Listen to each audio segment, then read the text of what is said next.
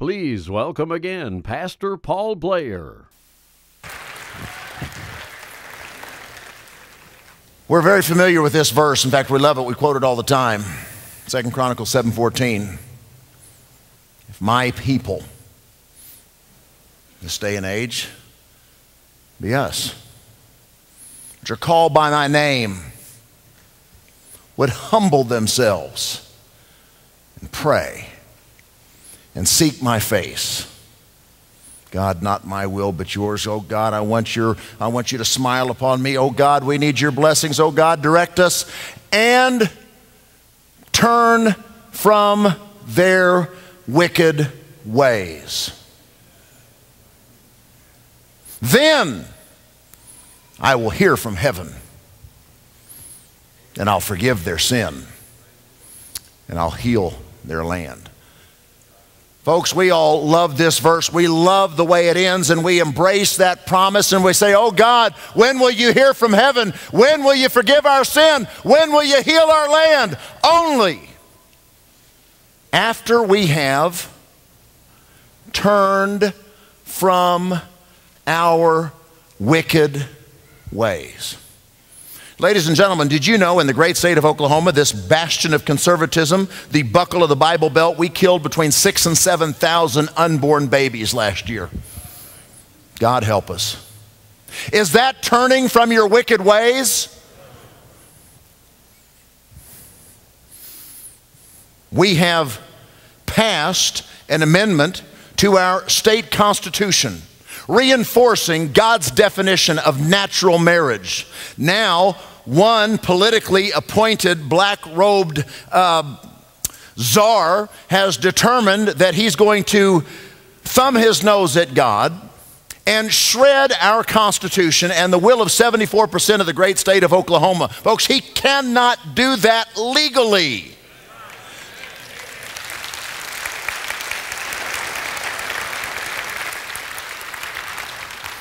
But in 1973, it wasn't legal what Roe versus Wade did either. And the Christians sat on their hands, and we now have the blood of some 55 million babies on us. Are we going to just sit and wring our hands and say, oh, what a pity about marriage? Or are we going to turn from our wicked ways? We run about a trillion dollars a year nationally. I hate that term anymore in a deficit. And we always point our fingers at Washington and say, oh, those guys shouldn't be doing that. Folks, we are complicit because we can't compromise our principles and values fast enough to accept bribes from Washington. We are complicit in the national debt. So, will we? Are we willing to turn from our wicked ways? Folks, you've learned tonight that we actually have the ability. It's not vote, hope, and cope. It's not beg at the feet of the Supreme Court for them to do something. The sovereign states are who establish the general government. The general government only has authority that we delegated to it. It's up to us to say no when they get outside the box that we put them in. Look at the words of Thomas Jefferson, not Paul Blair.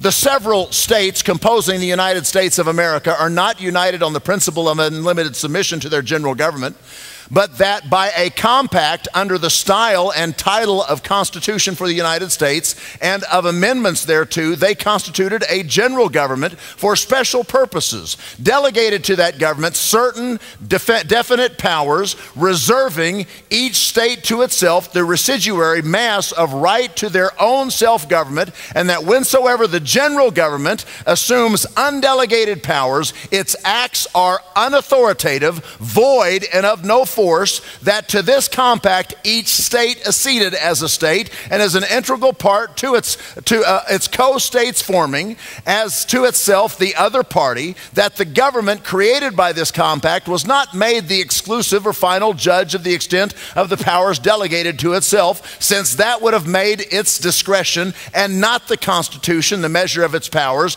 but that as in all other cases of compact among powers having no common judge each party has an equal right to judge for itself as well of infractions of the mode and measure of the redress. Folks, did you realize we have the ability to stop abortion in the state of Oklahoma?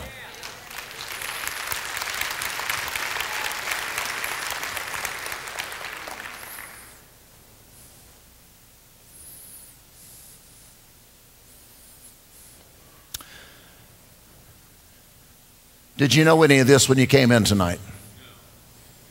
What do you think would happen if 3.8 million Oklahomans were able to learn what you now know? Recognizing that the power has all along rested in the hands of we the people. What would happen? Folks, I think we could encourage our legislature, and we've got many legislators here tonight. And I think we could encourage our governor, as we have recently with her rescinding Common Core. We were successful in that. That was we the people, educated people. That was not something she wanted to do. She was a proponent for it, but she heard the voice of the people.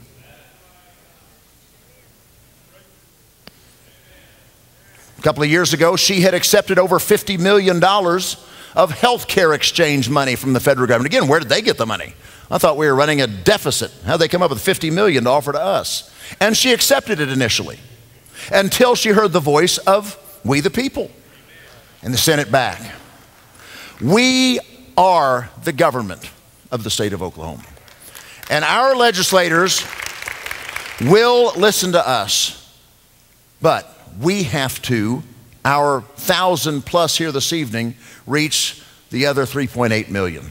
So this is where you come in. This is where our strategy is. We're going to run a campaign on knowledge Unfortunately, we aren't a very intellectual society anymore. People don't read 500 page books. They listen to television commercials, they listen to radio commercials, they do one minute, two minute, three minute YouTubes. So we are going to have to be very sophisticated and basically run a campaign for liberty in the state of Oklahoma. Here's what we have budgeted to do if we can get the cooperation and raise the money to do it.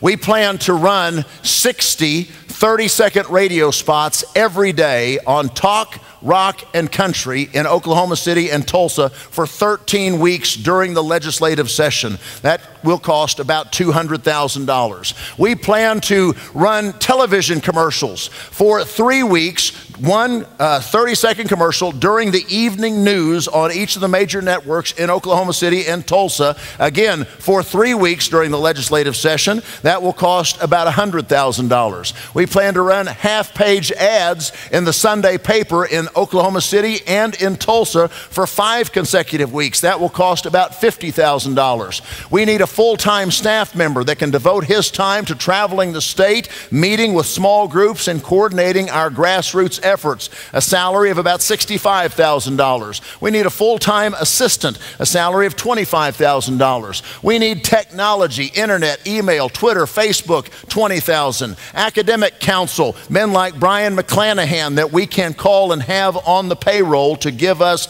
direction in some of these uh, arguments and issues. We need rent, phone, and utilities. We need miscellaneous expenses altogether. Now, this is a bare bones. Quite frankly, we could use double this or triple this.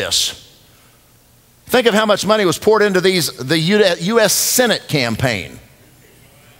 And that's going to get us nothing. Folks, let me tell you, we've had one of the best senators in history in Tom Coburn. Well, we're still seven. Hold on a second. Let me, let me, let me make the point. We're still $17.5 trillion in debt. We're still murdering babies every year. The answer is not in Washington. The answer is in the state of Oklahoma. Go ahead. Now that's worthy of an applause. You say, that's an awful lot of money. Yeah, I'd agree with you. That is an awful lot of money.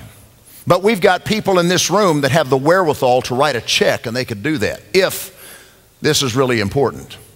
But here's what I'm asking to do.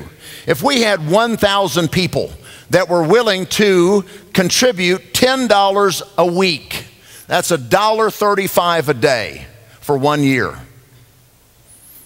1,000 people that will join together and not just talk. Oh, I'm going to quote Second Chronicles 7:14. Oh, isn't it terrible? 55 million babies murdered. Oh, isn't it terrible what Washington's doing? Shut up. I'm tired of hearing it. We've got an opportunity to actually do something about it. Will you join us? That's the question. Will you join us? 1,000 people that would do $10 a week. Make a commitment. Gentlemen, would you pass out the envelopes, please? Just hand them down the aisles. We're going to give you an envelope. And I'm going to ask you, if you would, to prayerfully consider what's on this envelope. We've got op options here for you to be able to commit for one year. You can contribute weekly or monthly or quarterly. I've got a box here to commit for $45 a month for 12 months. That'll get this done. That's what I'm talking about here. $45 a month. I think virtually everybody in this room can afford that. Some can do far more than that. Some may just want to make a one large contribution. Some may want to have a credit card draft. Folks, we need the support. 500,000 is a lot of money. But divided amongst a thousand people, divided over 52 weeks, it's really not. It's about, it's less than a cup of coffee every day. But is, is it important? Is it important?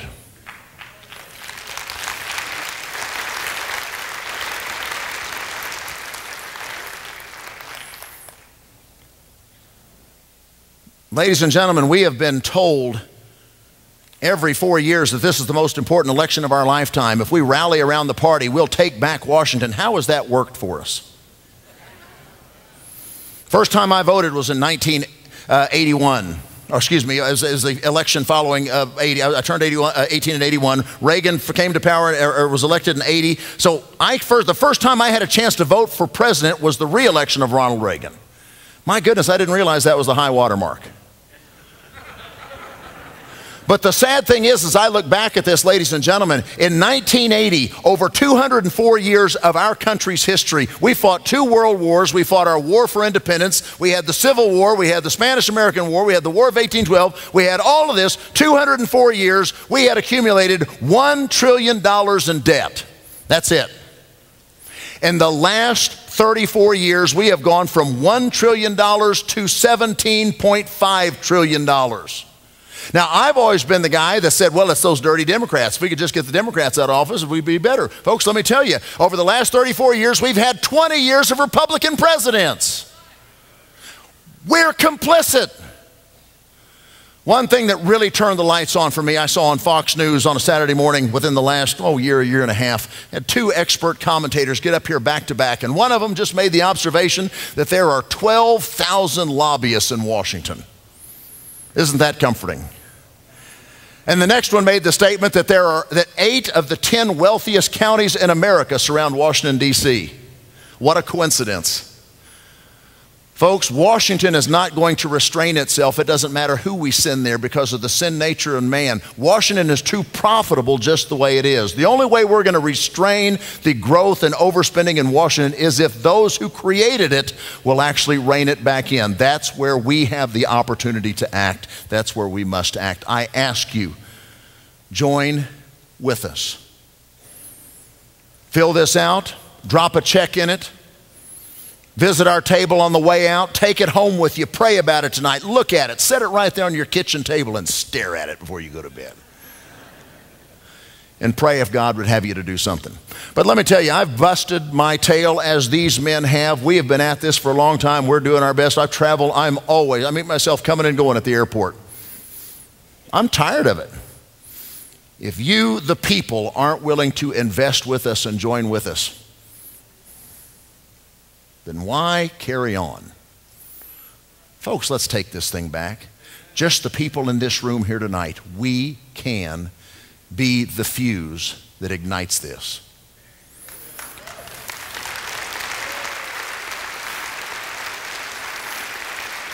Edmund Burke, thank you. Edmund Burke says all it takes for evil to triumph is for good men to do nothing. Let me say, we have churches across our state full of good men doing exactly this. I'm going to close with three slides. First of all, I want to make this statement. We talked a while ago about the condition that the country was in when the 18th century church had the courage to stand in the face of tyranny. Here you see some religious leaders pledging their allegiance to Adolf Hitler with political leaders. This slide comes from the United States Holocaust Museum and it talks about the condition of the German church during the rise of Nazism. They were having economic troubles. They had a charismatic leader come to power. One of his ideas to resolve the problem was to get rid of the sovereign states and unify under national socialism. Well, a lot of the church thought it was a good idea. As a matter of fact, this segment said some of them were all for it. They liked this fiery new leader, brought back national pride. Some recognized how dangerous this was. You're going to learn about this tomorrow. Oh, you've got to be here. This presentation that Dell is going to do on the state is phenomenal. Some recognized the dangerous path that we were going down, tried to stop it. But most simply wanted to remain neutral. Churches just, Christians just didn't want to get involved. Oh, we might lose our tax exemption. Oh, they might say some bad things about us. You know, history tells us that there were six million Jews that ultimately died in the concentration camps. I bet if we had a chance to give them a vote, they would have said, Hey, church, do something. There were some 12 million altogether that died in those concentration camps. Hey, if we could hear their blood crying out from the ground, they would have said, Hey, church, why don't you do something before it's too late? There were over 40 million people that died in the European theater alone, both civilian and military personnel. Boy, they had a chance to vote, I bet you they would have voted that the church got off its butt and did something. One of the men that attempted to do something was this gentleman, courageous pastor named Dietrich Bonhoeffer. Before it was all over, he wound up giving his own life as he was doing everything he could to try to save the lives of others and head off what was going on in his country. Bonhoeffer made this statement. He said, Silence in the face of evil is itself evil. God will not hold us guiltless. Not to speak is to speak, not to act is to act.